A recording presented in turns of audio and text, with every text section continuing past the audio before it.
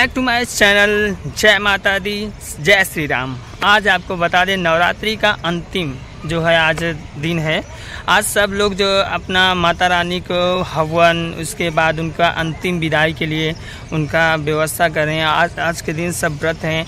उसके बाद माता रानी का आज से मुंबई के छोटे से शहर में गलियों में बैठी हुई माता रानी बहुत ही अच्छी हैं।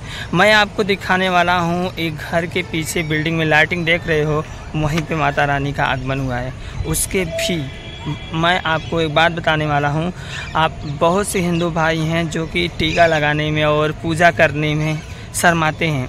कभी भी ये हिंदू धर्म में सब आपको भकाने के चक्कर में अपना धर्म कभी भी लाज शर्म नहीं करना चाहिए। अपना धर्म दिखाइए और अपनी धर्म पर जो गलत बोले, उसको पहले समझाइए। ना समझे तो अपना पावर दिखाइए।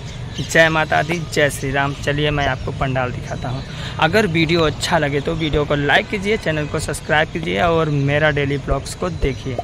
सबसे पहले इस छोटे से गार्डन के बाहर निकलता हूँ, जो कि पंडाल की तरफ़। उस तरफ़ यहाँ पे मैं एक रॉन्ग साइड से जाता हूँ, क्योंकि मेन गेट पर जाने में थोड़ा मुझे ज़्यादा लंबा पड़ेगा। मैं अभी कॉलेज से निकला हूँ। मैं पहुँच चुका हूँ पंडाल के पास और उसके बाद इस फ़ील्ड के चार दीवारी को डाकता हूँ। चलिए दोस्तों, चलता आप देख सकते हो ये है मेन गेट पंडाल का। ये है ठाकुर विलेज बंगाली एसोसिएशन।